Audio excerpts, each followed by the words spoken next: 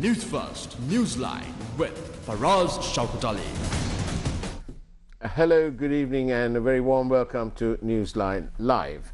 Now then, Sri Lanka appears to be at a serious uh, juncture in its uh, checkered uh, independence for the last 72 odd years, and um, there are protests all over the place. Uh, there appears to be a new rule in the uh, penal code, uh, or so it appears, and uh, we thought we'd uh, interview somebody here and ask him all about what he thinks is going on uh, in our country especially because the people are all over the place, from north to south, or east to west, from the hills to the plains. They're all, at some time, are protesting. Here we go. Mr. Paikiasothy Saravanamuttu, Dr. Paikiasothy Saravanamuttu, I do beg your pardon. Very good evening to you. Good evening. And what do you make of it? The, the, the, the Republic are all up in arms, literally.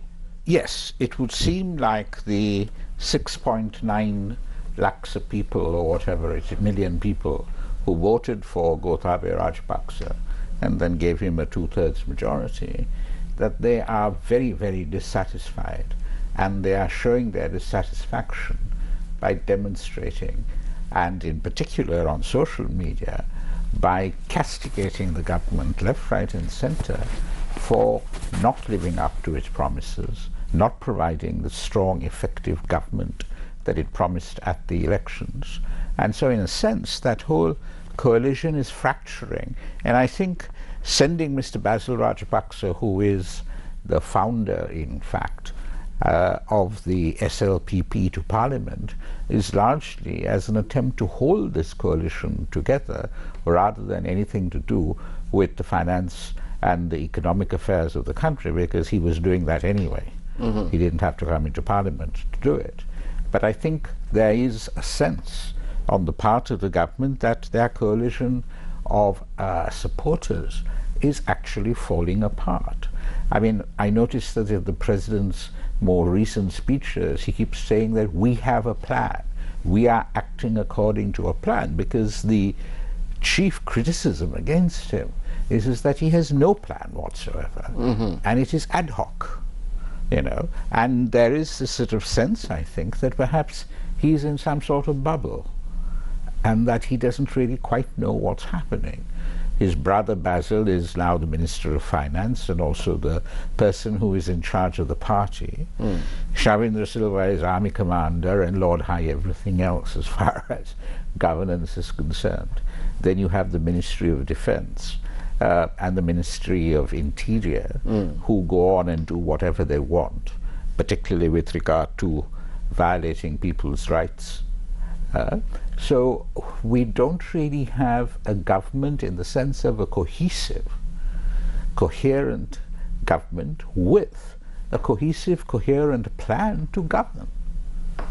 Um, talking about uh, the erosion of the people's rights, we saw a couple of days ago at, at a protest, uh, some protesters were uh, uh, arrested by the police, uh, taken off to court, produced before a magistrate, uh, who apparently gave them bail.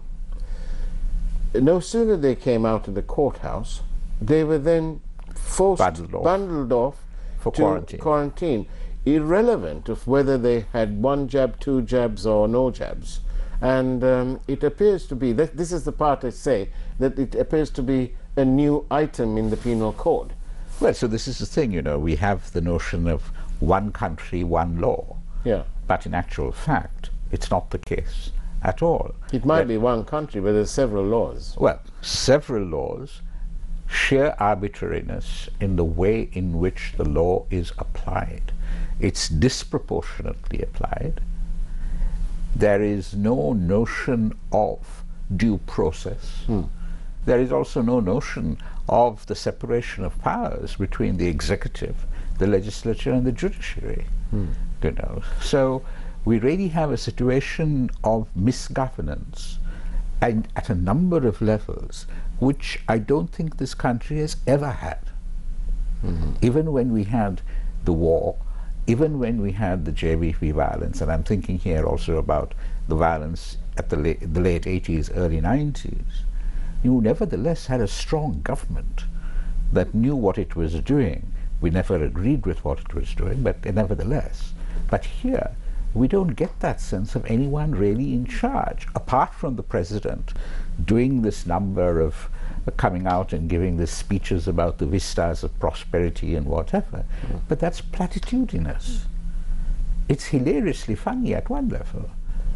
And, uh, well, what do you make of um, do you, do you seriously believe that they have any plan? I don't think they have any plan at all. I think they are doing it on, you know, on hope and prayer. They have no idea what they are doing. They see a problem, they go and immediately solve it. But that's the short-term solution. It's not a long-term solution because there isn't a plan as far as that's concerned. So it is going from one crisis to another. At which point, uh, Dr. Saravanamuttu, do you think that uh, the people will stop voting uh, in uh, the same, the, uh, you know, the same, all virtually the same people based on the same promises?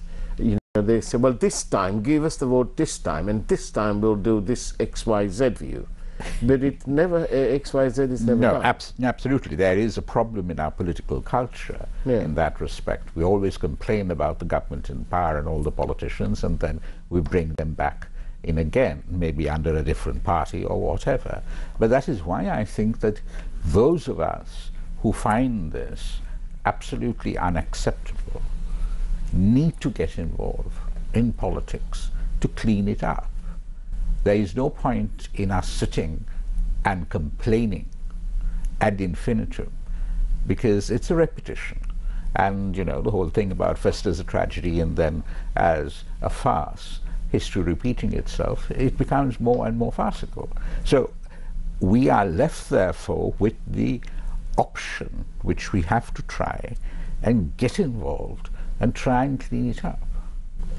But um, Several are the instances where the government um, attempt to uh, govern uh, by the use of uh, gazette notifications and uh, only to uh, rescind them soon after.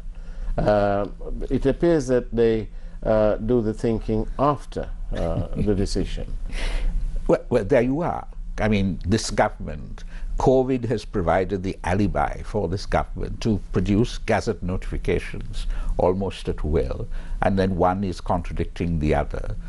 They get overruled very quickly because there is no plan. I mean, if you had a plan, you're not going to have one gazette notification, then another one soon thereafter, uh, nullifying the previous one. Mm. Does that indicate to you that there's some sort of mismatch um, between the presidency and uh, parliament? Oh, yes. I mean, the presidency after the 20th Amendment has been vested with enormous powers yet again. We've gone back to hmm. the Jayajayawardena presidency of 1978. Yeah? And Parliament in this respect is purely a rubber stamp. Mm -hmm. However, as we all know, if you have a huge parliamentary majority, you have to find jobs for the boys, and that is jobs in terms of giving them deputy ministerships, state ministerships, and whatever. Mm. So effectively, that parliamentary majority becomes part of the executive. But this, this it's not there to debate laws and pass laws. It's a rubber stamp. Back when Mahinda Rajapaksa became the president in 2005, and uh, he wanted help, uh, so to speak, from the uh, opposition uh, to fight the war. Um, he appeared to have an almost uh, some form of legitimacy in increasing the size of the cabinet and so on. I think uh, all but two of his members had official portfolios. But this has slowly crept in and become the norm. So again, once again, we have uh, a whole, you know, phalanx of uh, people holding portfolios. No, so this is why we in civil society, whoever else, needs to point out that, look, this country was governed with less than 100 ministers. Yeah. We were governed with 10 or 12 ministers. There are countries today which are much larger than ours, which are governed with 10 and 12 members in a cabinet. So therefore we have to show that this huge cabinet is a part of effectively a corruption. It is corrupting, buying the members of parliament over with ministerial portfolios and perks in order to make sure that when they have to vote, they vote with you. However, I think what's also happening is, is that given that it is a motley coalition of forces, there are rumblings. There are the Gotabaya Rajapaksa faction, there is the Namal and Mahinda Rajapaksa faction, there's Basil, so, but anyway, the factions are all members of the family. Mm-hmm. So one is told that when push comes to shove, that they all stand together.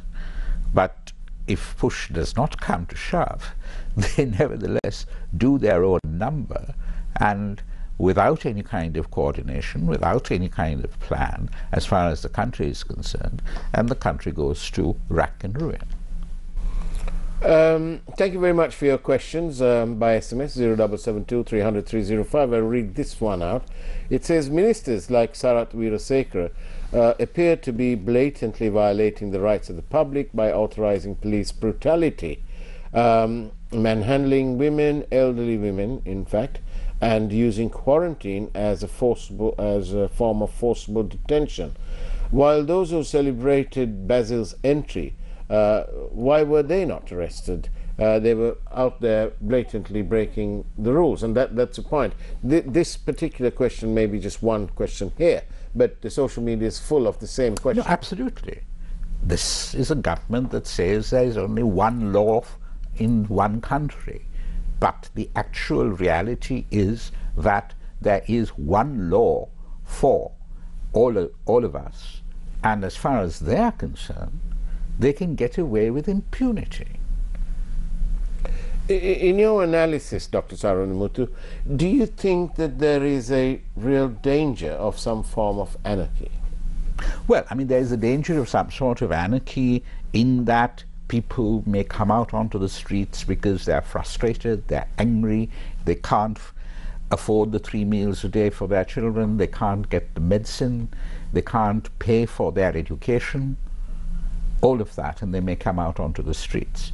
But at that point, my suspicion is, is that Gotabaya Rajapaksa, president of this country, who only goes to the military for anything and everything, may well order the army into the streets. What has it all done to um, our foreign policy, uh, foreign relationships, our in, you know, diplomatic well, relationships? There is no foreign policy in this country. I right. don't think anyone can ever talk about any kind of foreign policy. What it has done for our diplomatic relationships is, is that it has messed them up left, right, and center. You know, we all know that from the uh, Millennium Challenge account to the port, the Eastern uh, Terminal, to the uh, energy energy uh, things up in Mannar and all of that, that those things were grossly mismanaged. Furthermore, we know that with regard to Geneva, we totally mismanaged that. Hmm. You know, now we seem to be wanting to be nice to the European Union because the European Parliament has passed the resolution considering getting us getting rid of GSP Plus for Sri Lanka. But we must get our act together fast enough in order to be able to resurrect, salvage something from the mess that we're in as far as foreign policy is concerned.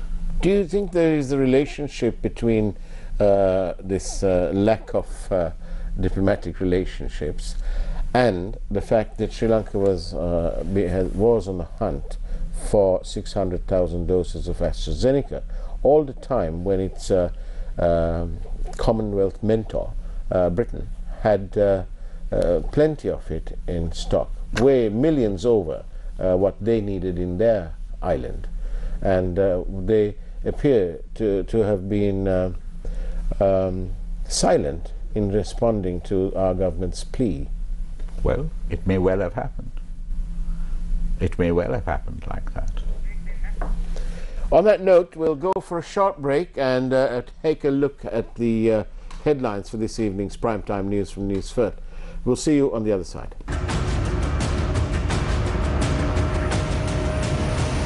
News First, Newsline with Faraz Shauketaly. And welcome back to Newsline Live. I'm in conversation with Dr. Paikiasothy Saravanamuttu, who's, of course, the Executive Director at the Center for Policy Alternatives, CPA.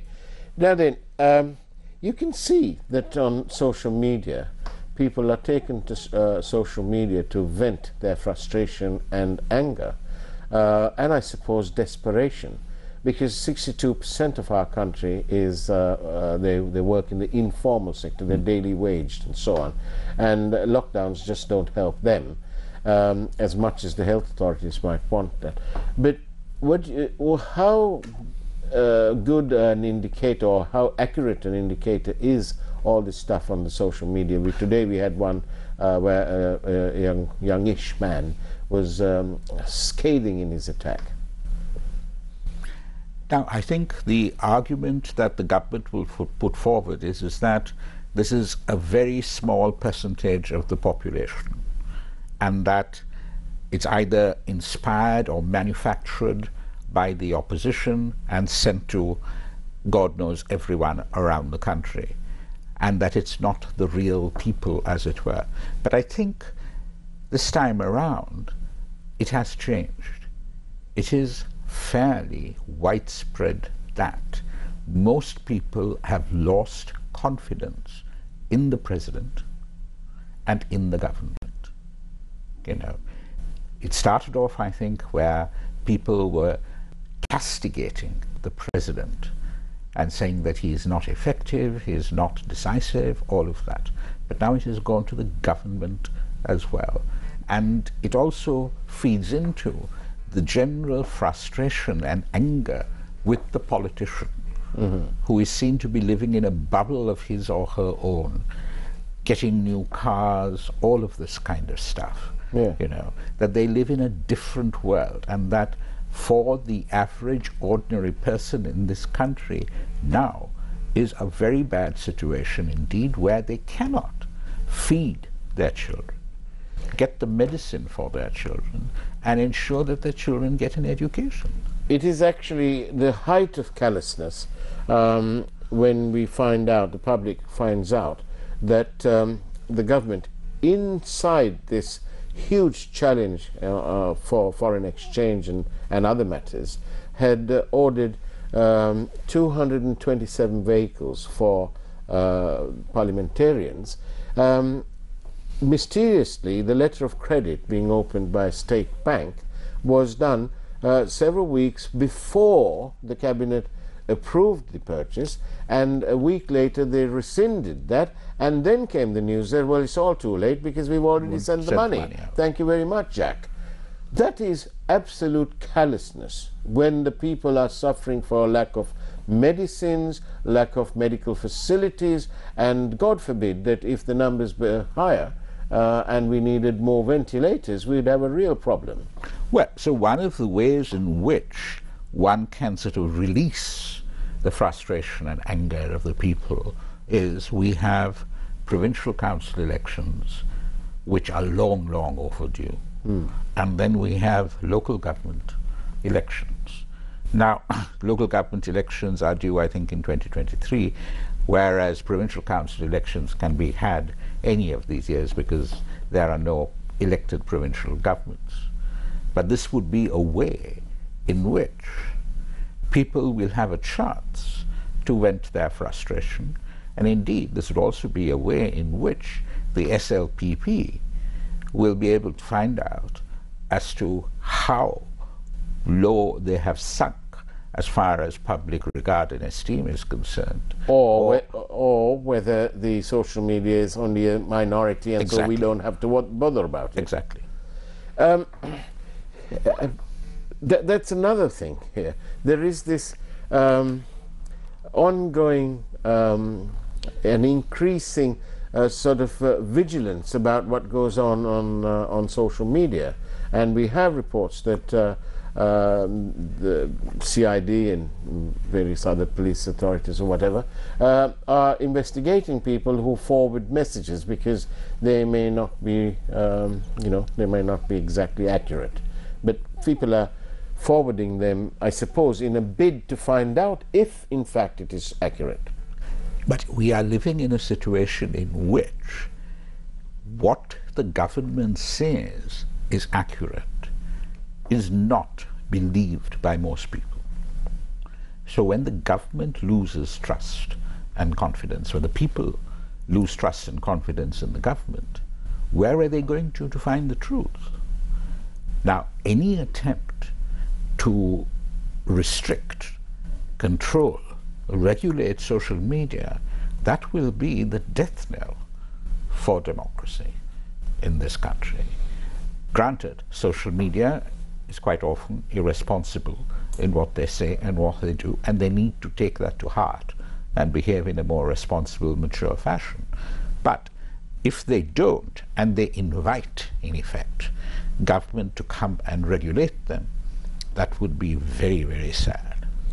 It's almost telling, isn't it, that uh, when uh, the government of the day um, appears to be troubled or bothered even um, singular term is better, colourblified uh, by the uh, reporting of uh, um, our network, News First, uh, and the Sirasa Network.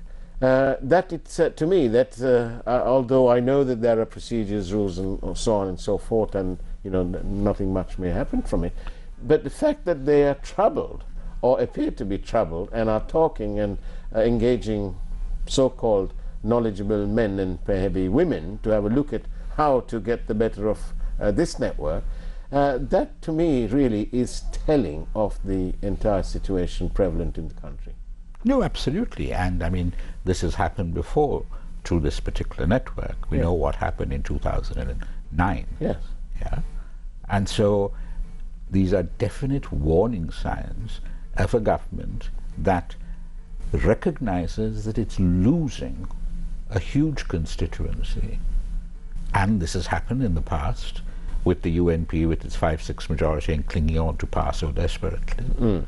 You know, so the writing could well be on the wall. And so is this, uh, perverse as it may sound, uh, the right time for the opposition to emerge and uh, take up the, um, the challenge? Oh, absolutely. I mean, the opposition should take up the challenge, should come out as the strong defenders of democracy. Now, I understand that the SJB has gone to the Supreme Court with two fundamental rights yes. petitions with regard to what happened um, yesterday. I'm not quite sure what exactly the petitions are, but they do need to take the lead. Yes, they, they, I believe that they're challenging, uh, they're, they're, trying to get a ruling on uh, the Quarantine Act mm. uh, okay. and, and so on. So, um, do you think that um, Sri Lanka is in for troubled times, or do you think that uh, with the um, advent of uh, Mr. Basil Rajapaksa, as you say, as a form of sort of trying to cement, binding it all together, uh, and you'll know all about binding with your cricket and all that. Is is this is he a bit of a binding instrument? Well, I mean, he has been the architect of the victories of the Rajapaksas and his organizational skills mm. are much to be admired. Um, but I don't know whether his task is going to be as easy at the present moment when there is a lot of disaffection against the government. But a fair number of these, uh, uh, of his colleagues in Parliament, ought to be rather grateful because uh, various cases against them have been uh, mysteriously, uh, almost, uh, done away with and dropped, charges been dropped and so on. Yes. So, so they, they ought to be lighting a candle every day and saying thank you very much. Dear no, no, they, they might say all of that, but their supporters hmm. may turn around and say, look, you were guilty of such and such, and you should be tried, as indeed we will be tried. The whole question of impunity should be dealt with squarely. You know, so if you have an election, then you're going to have the truth of the matter come out and probably bite you in the face. In your dealings with um, um, the international community and so on.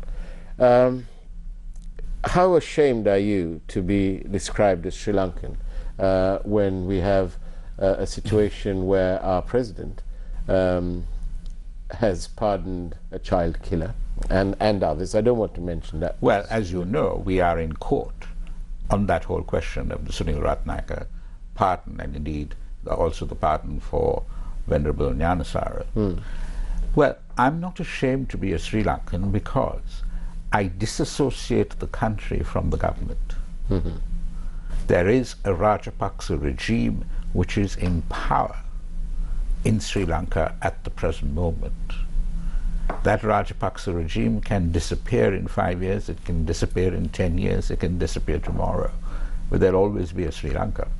And there'll always be Sri Lankan citizens to pick up the pieces and proceed from there.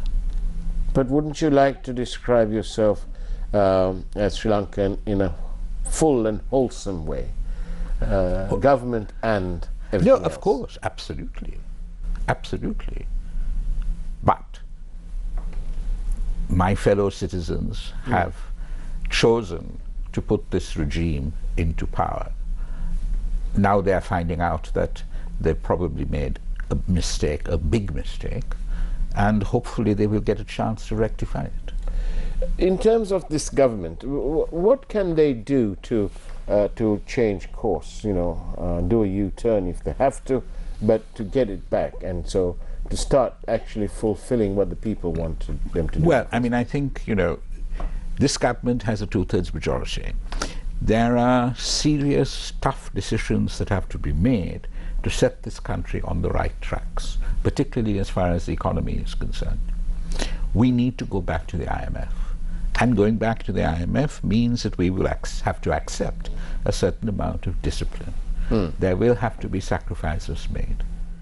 But if you have a two thirds majority, presumably you are going to be able to garner the popular legitimacy for unpopular policies. You know, that's the only way to do it. So if I was the, the president or the cabinet or whatever, one of the first things I would do is go to the IMF. And why is uh, going to the IMF some sort of big bad thing? I Or don't know, that's you- how they look at it. you, you probably have to ask P.B. Jayasundera and Nivard Cabraal that question. I don't mean to uh, put anyone down, but um, technically speaking, uh, very technically speaking, Dr. P.V. Jasundra is the secretary to the president. What on, what's he got to do with it? Well, Mr. P.B. Jayasundera was in charge of the economy under governments of the SLPP and the SLFP for quite some time. And therefore, when he has a president who doesn't seem to have any great economic knowledge or experience, then I suppose he has disproportionate control and influence over the trajectory of economic policy. And so, in your uh, view, um, leaning on the IMF will have to be done almost immediately. Well. I mean, we have an international community in which the IMF is the lender of the last resort. Hmm. Why not use it? and we have been to them about and 16 we times have before. been, yeah, exactly. Interesting times ahead? Well, in the spirit of the Chinese curse, yes, interesting times ahead. Dr. Paikiasothy Saravanamuttu, thank you very much for being uh, on uh, valued guest on Newsline Live. Thank you. Thank you, and that's the way it was on Newsline Live. Take care, have a great evening ahead of you. God bless you, and of course, it's now time for the primetime news from News First.